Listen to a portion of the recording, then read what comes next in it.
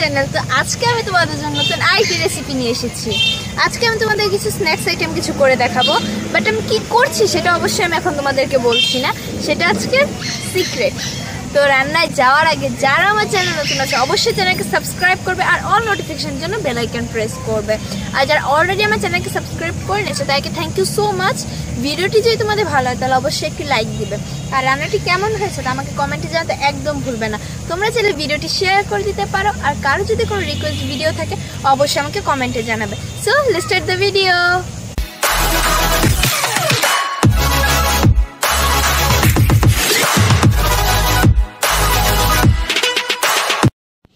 friends আমি বলেছিলাম, আজকে সিক্রেট কিছু দিয়ে তোমাদেরকে একটা স্ন্যাক্স আইটেম করে দেখাবো। তো সবাই কম বেশি জিনিসটাকে চেনো। আজকে আমি এটা দিয়ে বড়া তৈরি করে তোমাদেরকে খাওয়াবো। এটা বাহি- বাইরে কিনতেও পাওয়া যায়, আর কেউ চাইলে বাড়িতে ভুট্টা দিয়ে তৈরি করেও নিতে পারে। এটা দিয়ে আজকে আমি তোমাদেরকে বড়া তৈরি করে শেখাবো। আর এই সাথে আমার যা যা উপকরণ লাগছে মেন ইনগ্রিডিয়েন্টস তো এটা আছেই, সাথে আর যা যা লাগছে। এখানে আছে চালের গুঁড়ো, এখানে আছে পেঁয়াজ কুচি, কাঁচা লঙ্কা কুচি, এখানে আছে নুন, কালো জিরে, এখানে আছে হলুদ, জল সয়াবিন তেল, আর এখানে আছে ব্রেড। তো প্রথমে আমি ব্রেডগুলো প্রসেসিং করে নেব। তো ব্রেডগুলোর প্রসেসিং করতে আমি প্রথমে ব্রেডগুলোর যে এই ইনার কর্নারগুলো আছে কর্নারগুলোকে আমি কেটে নেব।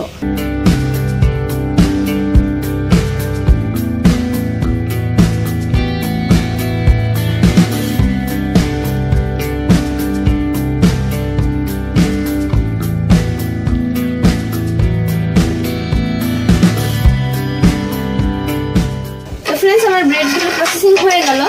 এবার আমি নেক্সট স্টেপে যাব। তো প্রথমে আমি এখানে যে ব্রেডগুলো আছে ব্রেডগুলোকে কিছুটা পরিমাণে জল দিয়ে আমি এগুলোকে প্রথমে ভিজিয়ে রাখব।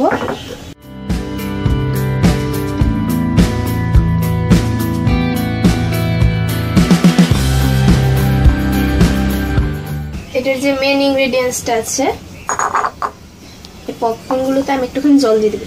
তো আমি এখানে পরিমাণ মতো নিয়ে নিব।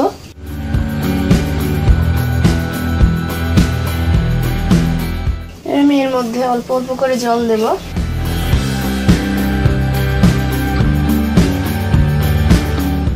তোমরা দেখতেই পাচ্ছ।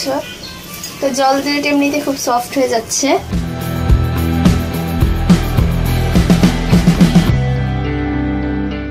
আমি এখানে আমার পরিমাণ মতো নিয়ে নিলাম।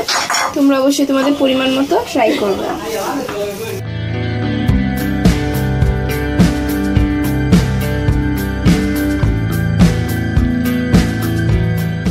এবার আমি এর মধ্যে রুটিটাকে দিয়ে দিব।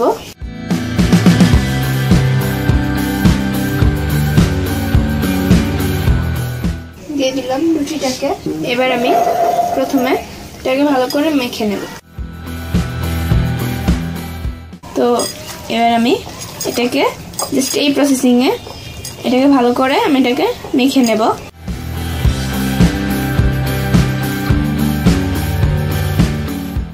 আমি এর সাথে বাকি যে ইনগ্রেডিয়েন্টসগুলো আছে সেগুলো দিয়ে দিব। তো প্রথমে আমি এর মধ্যে নুন দিয়ে দিব। হলুদ গুঁড়ো দিয়ে দিব। জাস্ট খানিকটা পরিমাণে কালো জিরে দিচ্ছি। কালো জিরেটা এখানে পুরোপুরি অপশনাল সাবজেক্ট এটা যার যার ইচ্ছের উপর বেস করে তোমরা দিতে পারো। কিন্তু কালো জিরে দিলে কিন্তু এর ফ্লেভারটা খুব ভালো আসে। এবার আমি এর মধ্যে কাঁচা লঙ্কা দিয়ে দিচ্ছি। এখানে যে যতটুকু ঝাল পছন্দ করো, সে অনুযায়ী কাঁচা লঙ্কা দেবে।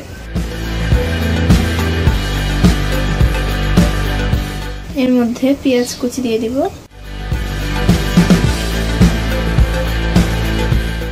আর লাস্ট যেটা আছে চালের গুঁড়োটাকে দিয়ে দিব।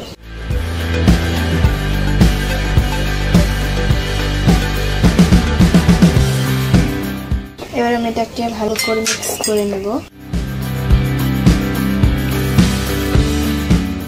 ফ্রেন্ডস আমার এটা মিক্স করা হয়ে গেছে।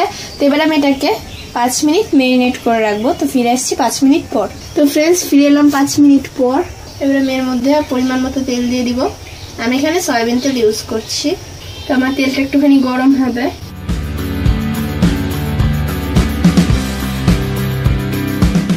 আমার তেলটা গরম হয়ে এসেছে।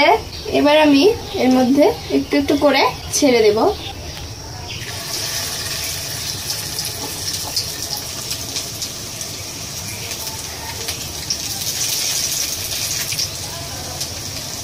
ফ্রেন্ডস তোমাদের কারও কোনো রিকোয়েস্ট ভিডিও থাকলে অবশ্যই আমাকে জানাবে, আমি তোমাদেরকে সেই রান্নাটি রিভিউ দেওয়ার চেষ্টা করব।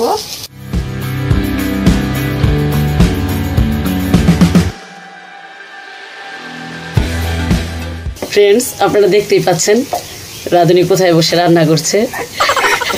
একদম দোতলায় উঠে রান্না করছে।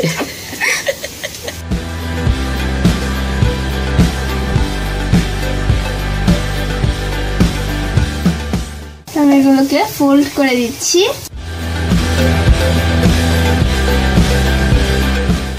এটা একটুখানি ভাজা হয়ে আসবে। কারণ এখন আমার, আমি যে ব্রাউন কালারটা চাচ্ছি, সেটা এখন আসেনি। ফ্রেন্ডস আমি এটাকে আরেকটা সাইড ফোল্ড করে দিয়েছিলাম। তো এবার আমি এটাকে নামিয়ে নেব। অবশ্যই তোমরা অয়েলটাকে ভালো করে অবজার্ভ করে নেবে।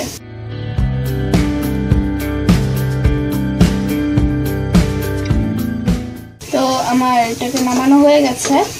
এবার আমি এটাকে একটুখানি গার্নিশিং করে নেব। তো সেটা অবশ্যই তোমাদেরকে দেখাচ্ছি না। তো ফিরে আসছি কিছুক্ষণ পর। তো ফ্রেন্ডস আমার এটা সাজানোটা হয়ে গেল।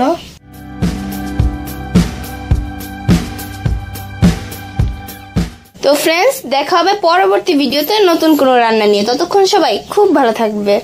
বাই